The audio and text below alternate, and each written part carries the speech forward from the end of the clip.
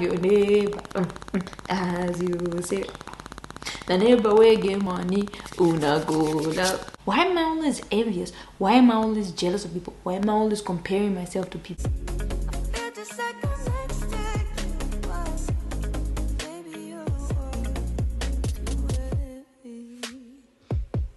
Hello, hello, hello. Hi, best friend. So, today we're gonna be talking about something that is very difficult to talk about. Like, this is a conversation I don't want to have. Honestly, I don't have this conversation. That this is not about them, this is about how they're making people feel. This is not about me being disrespectful or me having no culture or being cultureless. No, no, no, no. It's not about that. No, no, no, no.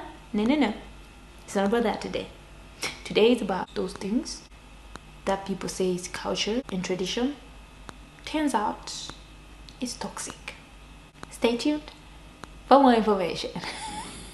the topic today is the five most toxic things African elders do. Or in other ways, you can say five most toxic things you can experience coming from an African family. What I mean by this is the things, the behaviors, the character traits that you experience coming from your elders. That is can be your parents, can be your aunties, your uncles, your guardians, anybody older than you in your community.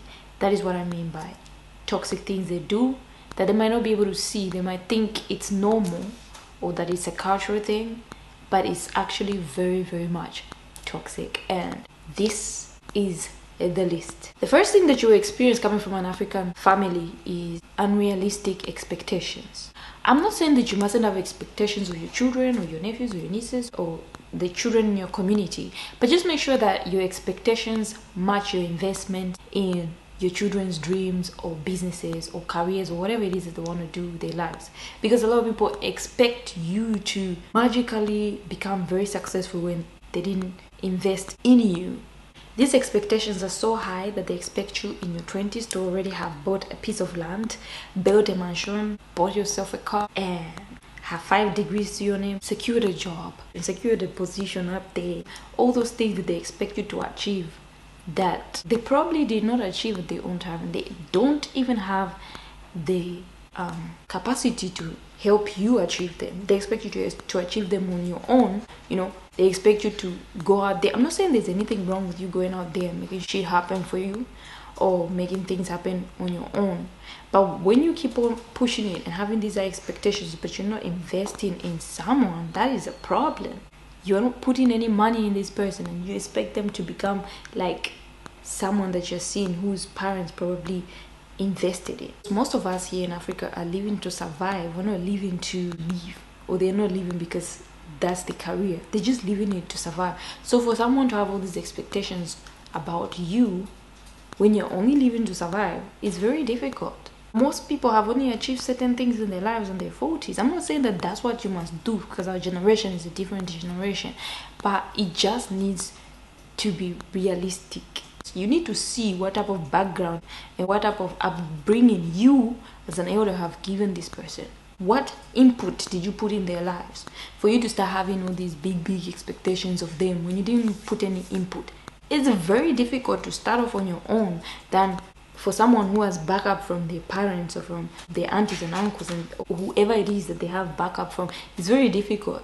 So those people who backed up that person to get to where they are, it's okay for them to have those expectations. But when you have not invested in a person and you have not put in much investment be it money be it time be it whatever it is whatever whatever type of investment that you put in to try and push them forward you need to have realistic expectations because you know what that person either your child your niece your nephew is going through because they talk to you about these things.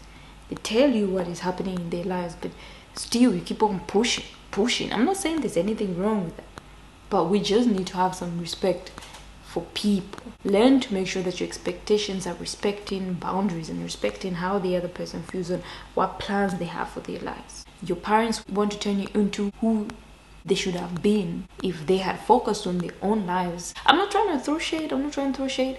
I'm, I'm not trying to be disrespectful, but that that is something that is common. I'm not saying that we're ungrateful that or these people that ask me to do this are ungrateful to their parents in any way, but they feel like their parents are always trying to live their dreams through them, which is not bad. but you need to make sure that you don't enforce it and make it look like this is something that you want for you that is good for your kids but it's only good for you they need to start learning to listen and not trying to force things on people. Trying to create these dreams. Sometimes that type of behavior can actually stop someone from being creative. Someone can stop someone from trying to find genius ways to um, go out there in the world. How many geniuses do you know here in africa? Or how many geniuses do you ever hear of here in africa that invent things that create things that you guys hear of? Like steve jobs like those big names. How many of them you hear about here in africa that everybody knows about and they've become a billionaire or whatever it is that is because our parents when they see you you're busy trying to be creative they'll be like oh no when are you going to make money from this thing that you're that you're doing so your creativity is very limited like I don't know how to put this. Like most times, people in Africa are not being creative for the sake of creativity. They're being creative for the sake of when am I going to make money? And that kind of limits somebody's capacity or ability to be great. I'm also not saying that we cannot outdo our elders or our parents or whatever it is, but we need to make sure that these expectations don't make someone's future feel inadequate, not good enough not intelligent enough, not creative enough. You don't fit in, the world because you are being put in a certain box, in a certain place. Anyway, we're gonna come to that. Hence my second point. My second toxic behavior that you see coming from an African home is limitation. By limitation, I mean they don't believe in your dreams. They don't believe in whatever it is that you plan to do with your future. For example, you say you want to be an artist or you want to be a musician or you, you want to be something unconventional, whoever it is that is your guardian will not agree with you because they have a visual representation of who they want you to be. The visual representation for your life is lawyer, doctor, as the other one, nurse. Yeah, any of those common careers that they know. Those are the only ones they know. If you come and say you want to be a film director, they'll be like, What is that? You come and say you want to do something else that has nothing to do with these three. They'll be like, What is that? Or which one's the other one? Engineer. Those are the ones they know. My question to all these people that always come up with all these forcing, forcing career on people. Where were you when your peers, people your same age, were busy becoming lawyers, doctors, managers, ministers, presidents, all those pre- prestigious positions that you want to dream for other people. I'm not saying it's not a good thing to dream for people, but why didn't you dream for yourself? Where were you when your peers were becoming all these things? Where were you? Were there no doctors in your own time? Were there no lawyers in your own time? Were there no people achieving their goals, becoming presidents, becoming ministers, becoming all these prestigious things that you're trying to force on your kids? Were there no people doing that? where were you when people were doing that? And I'm, I'm, I'm not trying to be disrespectful. Hmm? I don't want anyone calling me for meeting and calling the whole family, making sure. yeah. Look, I'm not the one that was making this video. I am only making this video at the request of other people. So I don't want to see people calling my phone. Hey, that video that you made online is eh, please don't try me if this video offends you and in african elder black black elder then the shoe fits honest and that's not my problem you understand that's not my problem i've seen or i've heard some parents have even gone to the point of cutting off their kids from their allowance. Just because their kid has refused to do what they want them to do they'll cut off that kid from their allowance so that that child will start to obey them. That is very toxic behavior. Very very toxic. I'll tell you a story of someone. One of the people that asked me to do this video say that every time he would go and play soccer when he was a kid his parents would always always whip him punish him or make sure that he's grounded so that he doesn't go play soccer. Now what type of behavior is that imagine if cristiano ronaldo's parents were like that would we have known who he is today imagine if paul pogba I don't know if I'm pronouncing his name correctly. If his parents decided, no, no soccer for you, no, I want you to be a doctor, would we have known who those people are? I'm not saying just because those people are out of Africa, they will have better opportunities. There's soccer players here in Africa who have gone far with their lives because their parents supported them. I'm not just saying about soccer, I'm talking about sports, I'm talking about music. There's people whose parents have put in that effort to push their kids forward. How about you support them?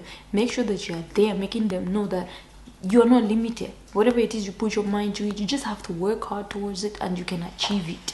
Instead of stopping someone and making them feel like, no, that thing you're doing is rubbish. If you want to do it, then I'm not going to put my money in it. Then I'm not going to support you. That's what they do. They'll make sure they restrict you, they make sure they don't give you the funds that you need to do what you need to do. You don't talk to your children. You have a vision of their lives without asking them what is your vision what do you want to do what is your plan this is that is that is why a lot of africans when they grow up they don't have a plan for their lives because they don't understand what a plan is. Nothing is planned when they're growing up. Nothing nothing, is planned. You will see in movies abroad you're gonna see oh this is summertime. They've got summer plans you know maybe they're traveling to europe for that summer. They're doing this to do. As when it's holiday you just stay at home. No plan. Just sleep, wake up. No plan for holiday. No, nothing. If it's holidays, to go to that your auntie's house that's always shouting and talking, talking, talking all the time. that is the holiday that you're going to. oh my god. No, we need to do better. Like need to be better parents. You know your kids' holidays coming, make a plan for them. Sometimes it doesn't even need to be far. Maybe it's just a road trip somewhere in a cheap motel. Your kids are far away from home, you take them there and they stay there for a while. It's a holiday, you know. I just stayed at home three weeks, four weeks. You just at home. No, they don't even take you out for ice cream. Nothing. Hmm. Stuff. Now, my third point is the reason why I actually made this video. These are topics that you don't really want to talk about because you don't want to come out some type of way. But I just had to because there's some people that need to learn, you know, they need to hear this. So the third toxic thing that African elders do is comparison. I mean, if you're not being compared to people around you, then I don't know if you're from Africa. They will compare you to everybody. And this is how they compare. Oh, did you hear your cousin just got her degree in sociology or in political science? She just graduated now and she just got a job the other day. She's doing really well. Oh, did you hear your friend bought a piece of land? Now she's building. She's building this um she's building this beautiful house. Oh my god, I went there. That is a house. Yo, she's young and she's doing her thing. She's now building. Wow, that's a very, very ambitious young lady. That is a hard-working young lady. Oh, did you hear um this other person bought a car last week. Oh, it was a Mercedes. Oh my god. You should have seen it, the interior of this car. Red interior. Yo, the car is a beast. Like, and he's so young. And he's doing really, really well. Like, he's probably even younger than you, you know? By a couple of years. Or some of them will just be direct. They'll just tell you. they will tell you directly, like, somebody is doing better than you. Oh did you hear this? Your friend is getting married. My friend's daughter is getting married. She just got married last week. When are you going to get married? Oh did you hear that other person also um, just had three kids triplets the other week? When are you gonna have kids? When are you when are you when are you when are you when are you when are... that when are you question needs to go. It's also toxic. It's a very toxic question. You need to stop asking people when when when when. They will when it's their time when it's time for them to do what they need to do, they will. You need to stop. It's toxic. It's bad behavior. It's bad manners. It's mannerless. You need to stop asking people, when are you gonna do this? Uh, when are you when when are you when are you gonna mind your own business? When are you gonna mind your own business? That is the question you should be asking yourself. When are you gonna mind your own business? Hmm? Don't you guys know when are you is the most toxic question anybody can ever ask you. And it's very toxic. I find it to be very toxic. If I ask somebody when are you gonna get married or when are you gonna have kids, I really apologize because I was also being toxic when I did that. Elders, you just need to stop comparing your kids, your nieces, your nephews to people who rely on their parents for everything. To breathe, to eat, to drink water, to sleep, to wake up. Their parents. You need to stop unless if you're the type of parents that's doing everything for your kids then you can compare them to whoever it is that you want to compare them to. As your business. You're spending money on them so you need to see results. You know you need to see results. You need to see what they're doing with what you're spending for them. You need to stop comparison because it's toxic. You need to stop it because it's demonic. You need to stop it because it can demolish someone's whole sense of being. It can destroy a person's identity can bring doubt in a person's life. It can destroy a person's sense of worth. It can bring confusion and depression. It can bring low self-esteem, anxiety. It can make someone very anxious, to be honest. It can make someone just stop working hard because they're just feeling so inadequate. They're just feeling so senseless. They feel like they can't just be good enough because you're always trying to bring somebody that's better than them in front of them. It can even destroy the most ambitious person you ever meet in your life. It can destroy them because they're now feeling like, ah, I don't think I'm good enough to do anything except what everybody else wants me to do. It can bring unnecessary competition. The only person you're supposed to compete with is yourself. You're not supposed to compete with your neighbor, your friends, or anybody. Compete with yourself. Look at yourself in the mirror and try to see a better version of who you are, not competing with people. Sometimes you know you wonder where did I come from with this type of envy in my heart? Why am I always envious? Why am I always jealous of people? Why am I always comparing myself to people? It's because it's been inbred. Is it embodied? It's been put inside you by your elders. You've been raised up to be like that. You've been raised up to be envious. You've been raised up to be jealous. You've been raised up to not be content with what you have because you're always being compared.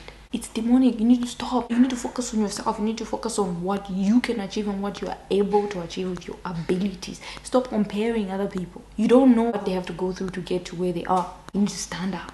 You need to bring genius ideas that will wow people. You're not supposed to be trying to bring yourself worth according to what people think about you all the time. You're supposed to stand up, make things happen for yourself. Even when people don't like you, you need to do what makes you happy.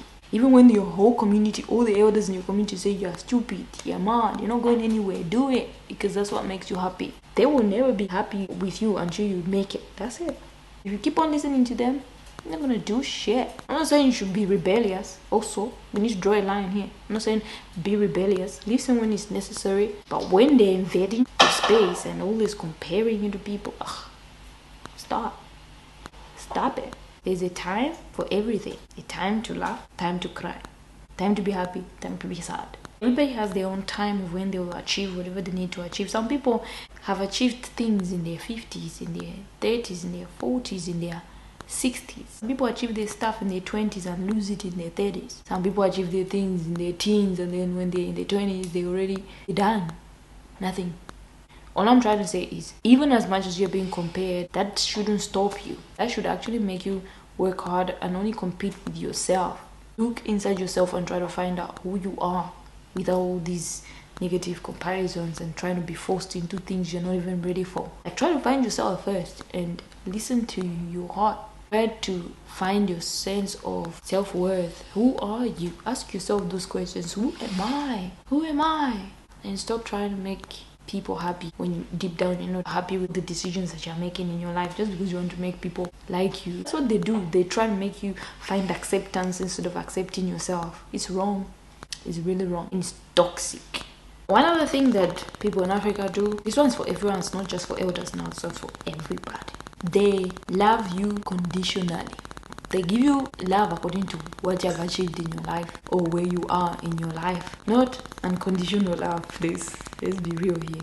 Work hard so that you can become your cousin or your relatives or your aunties. Let me just say your your relatives profile picture on WhatsApp. Have your neighbor, mm, mm, as you say the neighbor will get money, una go love. I know that it's only the neighbor that has money that you people are going to love. Yeah, the Bible says love your neighbor as yourself. Huh? But Africa, they love only the ones that have money. It's a very, I don't know how to say this one, but that is toxic. This unconditional love is so bad that when you're not popping in your life, people do, are even ashamed to talk about you. People are ashamed to bring your name in conversations because they, they have nothing good to say about you because at that point, you're not where your life should be or, what they envision for you. So they even ashamed to bring up in conversations with other people. Like that is just toxic. That is toxic behavior. Just be proud of people. Even with the little wins that they're doing in their life. Sometimes it's even difficult to have one little win. Like to just wake up and win at something. It's very difficult. So just be proud of whatever it is that someone is trying. It's really when they're trying, you know. They're trying. So you just need to learn to love people unconditionally, not conditionally. Not because now I've made it everybody I'm everybody's profile picture. I will block you if I see you putting me as a profile picture because I've made it. You'll be blocked. I don't care who you are. I don't, I don't care if if we're twins or whatever it is. I will block you personally because that is very shady. Like that's wrong. Mm-mm. Just love people and make sure that you just enjoy this human being, not the title they bring, not who they know or how much they get paid or what car they drive or where they live. Oh my god, where do you live? How much do you pay for your house? Don't be rude. That's rude. Those are rude questions. Just blow now. Just make it. Just make it a little bit. You're gonna see people you didn't even know before that will be coming back. Oh my god, we used to be in the same school. Really?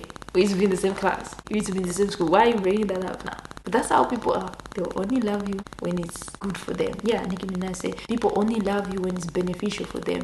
You need to stop. I know that it's too much suffering, there's too much pain, there's too much all these things here. Not only in Africa but in the whole world. But just stop this conditional love. You know, some people only call you when they're bored. Like, no offense, and I'm not saying you can't call me when you're in a bad space but I I'm not your bottom body here. Not saying don't call me, but just make sure that you're being a genuine person and you're just not using me for my energy. You're not using me for my good advice. You're not using me for all the good things that I bring into your life. Why couldn't these people just come around me because they really, you know, fuck with me? Like they fucks with me. They're my people.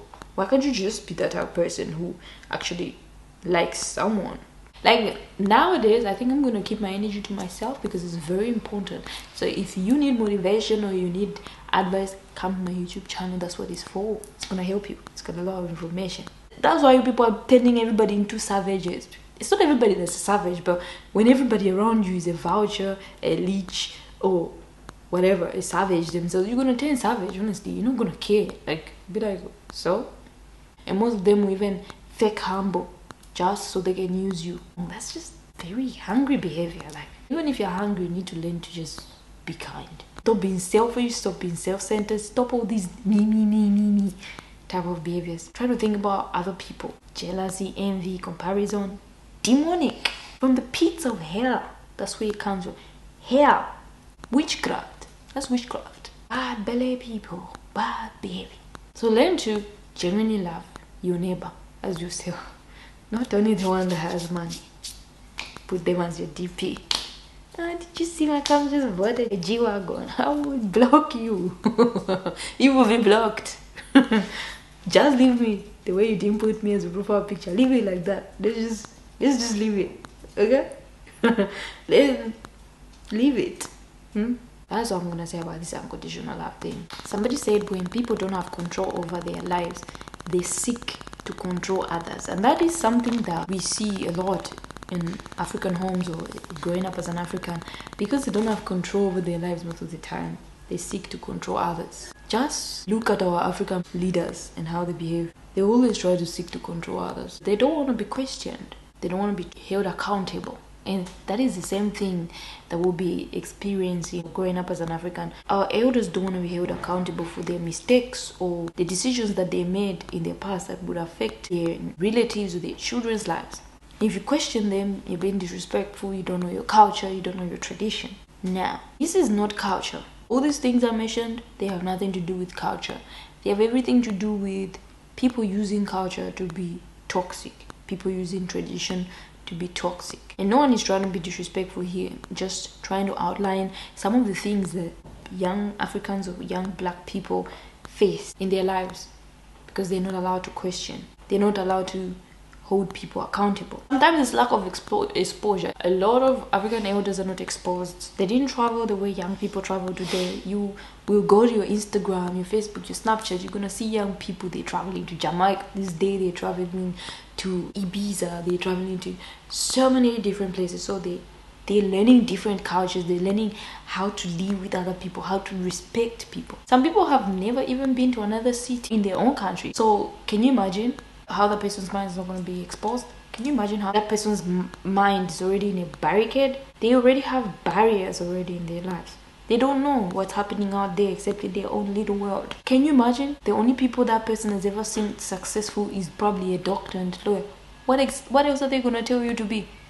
They've never seen a successful musician, they've never seen a successful actor because they don't travel. They've never seen a successful writer, they've never seen a successful dancer. Because the only people they see in the little world who are successful are lawyers and doctors. You need to travel. Just move. Sometimes you can even walk. Remember, there was a man that walked from Cape to Cairo. You can do it too. Yeah, human, he was human. it's gonna take you forever, but you can do it. So now my question to everybody is where do we draw the line with this type of behavior? Where do we set our boundaries with this type of characteristics? Where do we tell our elders that you're being toxic, you're being narcissistic, you're being controlling without us being the black sheep of the family, without us looking like we're disrespectful or that we don't understand our place in the world or that we're cultureless. How do we sit our elders down? How do we sit our parents down? How do we sit everybody that is older than us down and tell them, you are being toxic?